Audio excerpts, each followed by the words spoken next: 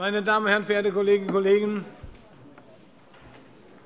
Ich möchte Sie jetzt noch offiziell alle ganz herzlich begrüßen. Ich begrüße die Landesregierung, begrüße die Zuschauerinnen und Zuschauer auf der Tribüne des Hessischen Landtags. Ich will mich noch einmal ausdrücklich bei Ihnen bedanken für die große Teilnahme an der Eröffnung unserer Ausstellung aus Anlass des zehnjährigen Wiederkehr der NSU-Morde. Ich empfehle diese Ausstellung Ihrer Beachtung. Zunächst einmal will ich nicht der Form halber, sondern aus kollegialen, guten Gründen in unserer Mitte einen Abgeordneten begrüßen, den viele auch schon kennen. Herzlich willkommen, Herr Abg. Klaus-Peter Möller aus Gießen.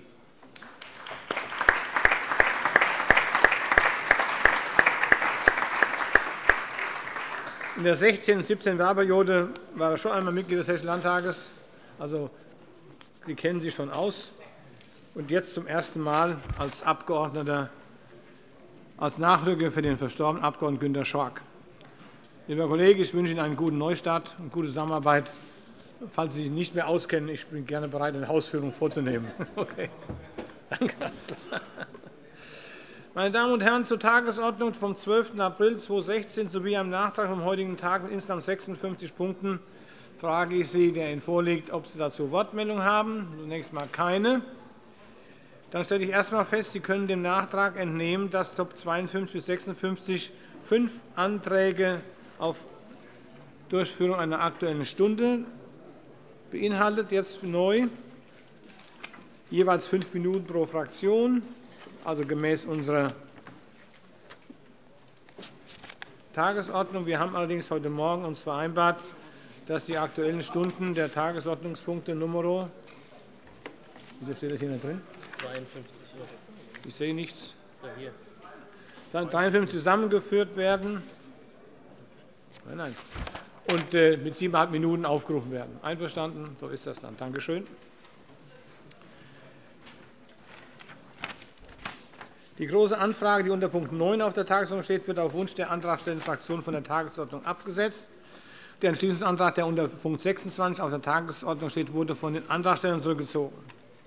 Gibt es weitere Wortmeldungen zur Tagesordnung? Dann stelle ich fest, dass kein Widerspruch mehr besteht, und wir können danach verfahren. Wir tagen heute bis 19 Uhr. Das ist so vereinbart im Ältestenrat. Wir beginnen mit dem Punkt 1 der Fragestunde und kommen zur Regierungserklärung der hessischen Ministerin für Umwelt, Energie, Landwirtschaft und Verbraucherschutz betreffend gemeinsam bezahlbaren Wohnraum schaffen. Wir rufen damit auf den Tagesordnungspunkt 22. Bitte etwas mehr Ruhe. Das ist nicht laut, aber störend. Ich sage, ja, Schicksal. Wenn einer schweigt, ist nicht die anderen. Das quietscht lauter, als meine Sprache ist. Kann man das ein bisschen lauter stellen? Sehr schön. Entschuldigt fehlen. Frau Abg. Hofmeier ganztägig und Herr Kollege Ernst-Ewald Roth. Sie ist entschuldigt. Meine Freunde, ich begrüße unsere Frau Vizepräsidentin ganz herzlich, liebe Ursula Hammann. Schön, dass Sie wieder da sind.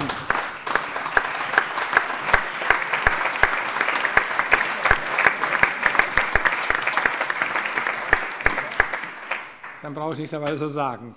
Toll. So, auf die Ausstellung habe ich schon verwiesen, die ich Ihnen nochmals empfehle. Um 20 Uhr wird die Fußballmannschaft des Hessischen Landtages in die neue Saison eintreten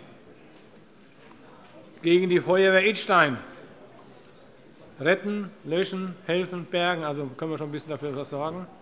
Ich wünsche viel Erfolg und der soll dann morgen auch gebührend gefeiert werden. Einen runden Geburtstag hat der Kollege Rudolph gefeiert. Lieber Günter Rudolph, am 13.03.56 geboren und muss jeder mathematisch ausrechnen, wie alt er schon geworden ist. Man sieht es ja nicht. Das ist euer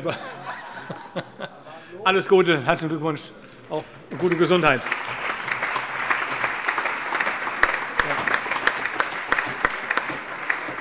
Klaus-Peter Möller hat ebenso einen runden Geburtstag gehabt. Das ist zehn Jahre weniger, aber auch eine neue Epoche eingeleitet. Viel Spaß dabei. Alles Gute, gute Gesundheit.